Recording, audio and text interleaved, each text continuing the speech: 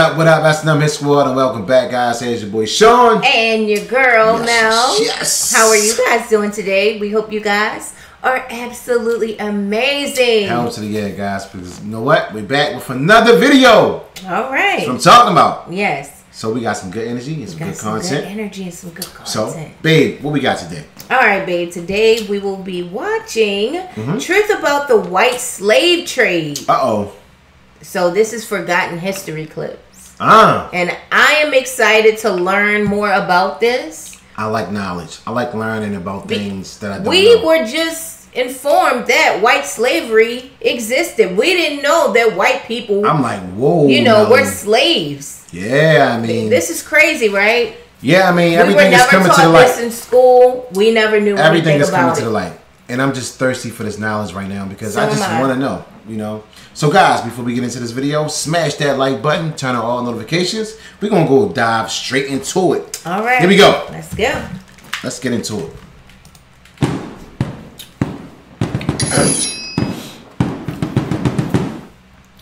One situation which has gone largely unnoticed in history was Jefferson being the first president to send the military overseas into direct action the war against the Barbary pirates. For decades prior to Jefferson's accession to office, the Barbary Coast pirates of North Africa had been capturing foreign merchant and warships, stealing their valuable cargoes, and enslaving crew members, while often demanding huge ransoms for their release.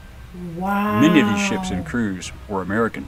Before independence, American merchant ships were protected from the Barbary pirates by the naval and diplomatic influence of Great Britain, which had threatened the use of military force should their ships be molested. However, that American protection came to an end after the colonies won their independence. The Barbary pirates also attacked the coastal northern Mediterranean, launching attacks against France, Italy, and Sicily, kidnapping women as white slaves, primarily and whenever possible, notable wealthy persons and ships for ransom. In their feverish search for white women slaves, a few pirates even went as far as the coast of Iceland, raiding inland to kidnap women and bring them back to North Africa. North African slave markets thrived, as, under Islamic law, known as Sharia, although fellow Muslims could not be enslaved, non Muslims could be and were. Over a period of more than 300 years, it is estimated that 1 million white Europeans, to include those captured at sea as well as through land raids abroad, were enslaved. Many of these One were million? captured. Whoa! I did- I never Hold heard. on. Wow. You mean to tell me the pirates? Yep. They Wow. captured them and they held them for ransom. So it was like a business. Like, come over here They if you would want. capture them. I'm. We're going to for take you, put you into slavery, and put a price on you. And some of these people were like wealthy people. They were wealthy. So if you want your people back, And they took all their belongings and all their valuables and stuff. yeah. Like, Rape- this is like. like you said, he wow. molested the ships, took everything. Highway robbery. This is crazy. This is so deep. Um, let's keep wow. going. Here we go. Wow. Never learned this in school. No, but they didn't tell us this. I thought they told us something about Kunta Kinte, and that was about it. I'm Roots. not. I didn't. That's I not watched real. Roots one time, That wasn't a true story. and that wasn't a true story. No. Oh, here we go. Here we go, guys. Here we go. I don't even want to dive into that. Here we go. Here we go. at see. In 1794, in reaction to the attacks, Congress had passed a law authorizing the payment of tribute to the Barbary states. Part of that law was the Naval Act of 1794, which authorized the construction of six frigates, establishing the United States Navy. By the end of the 1700s, when Jefferson was Secretary of State, the United States had concluded treaties with all of the Barbary states, the Ottoman regencies of Algiers, Tunis, and Tripoli, along with independent Morocco. When Congress authorized $80,000 for Morocco to not molest American shipping, it was considered a good deal, as it was a cost savings when compared to the loss of ships, cargo, and sailors. The Bey of Algiers, Mustafa Baba, also agreed, and many American merchantmen were escorted by Portuguese warships, as Portugal also had a treaty with the Islamic States. But Jefferson was opposed to paying tribute, which he considered to be a modern Danegeld, Wow. when Saxon England paid the Danish Vikings not to attack. It did not work. Although Morocco and Algiers initially agreed, just weeks before Jefferson took office, Tripoli began attacking American merchant ships in an attempt to extract further tribute. Jefferson had seen enough. Jefferson tried diplomacy, and his letter to Pasha Yusuf Karamanli emphasized. If you enjoyed this clip and want to see the full Wow. episode version, I need to hear some more of that. and it will take you to it. And as usual, You wanna click if you there? like the video, subscribe. Absolutely, like, we're gonna do that next. Send us comments, and if you wish to really help us offset Wow. cost of production, please go to our Patreon page and become a member. And we do appreciate it. Thank you. All right. in one age Wow. Okay, that was so deep. That was so deep. Um, because we never knew, we never learned this stuff.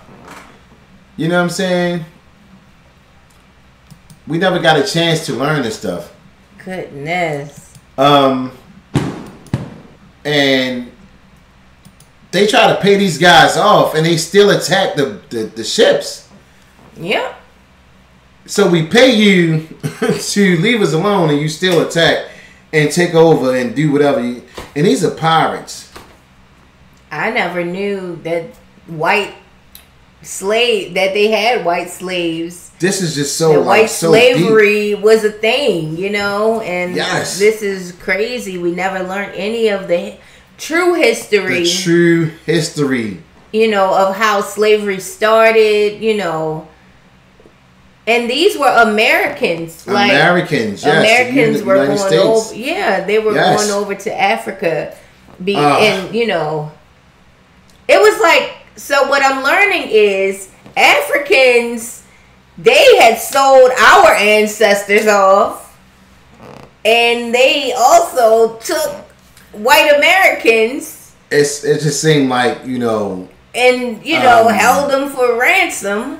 It just seemed like the truth is just not. It's not out. But we're we're we are thirsty for the truth. We're gonna find Goodness out. gracious! We want to know. This you know is crazy. I've never known any of this. I, I just I just want to know the information. was never taught any of this, and it's like wow.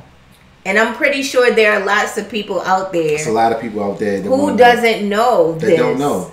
You know what I'm saying? And it's like, I wonder if there's still slaves, you know, in Africa now, today. Does slavery exist in Africa today? That's a good if you know this, let us know in the comment section because it seems like Africa was a huge part of slavery. But now it's like a different type of. Yes. Now it's like sex trafficking and stuff. Then you know it's like turned over to Okay. something else. It transitions to something else. But you know I don't. I'm not sure. I mean, I think a slave is a slave, you know. Slave is a slave. You know what I'm saying? Um, you're basically doing something that someone got in- dominion over you, and they tell you what to do. Yeah, and it was also sex. The slaves, you know, had to have sex with their masters, and whoever the masters were entertaining, they had to have sex with Modern them. day slavery. You know, it's slavery. it's sad but true and um we just want the truth you know we want to dig into it and just you know um because i just love hearing these older stories you know i love to hear the history of Yes. the united states and how things happen and Yeah. um how we How it all came together. Right here, right we always today. hear about black people being slaves and it's always being thrown out there yeah, but then you know, doing our research, we figured out like, wow, new right This is Africans were the ones who were Yes. selling Selling our slaves. ancestors right right for for like whiskey yeah for small things. Tobacco they were selling our ancestors For- over for here to America. and flour and all this stuff yeah, so But you know, um, it's just good to have that wisdom. we're just on this knowledge. journey of truth. Yeah, yes. If you have any knowledge, let us know in the comment section. If you have any videos you would like for us to react to, Yes, we would love You know, to. You know, to just broaden our awareness of slavery and how it all started, let us know in the comment section. Please, guys, fill up that comment section, and we appreciate Wow. you guys being here with us. Learn something new every day. Yeah, I love right. it. I love it. Me too. I love it. All right. That's our time, guys. We're about to sign off. Go ahead and smash that like button. Give this video a big fat thumbs up. and we right. appreciate all the love and support. All right. We up out of here. Peace.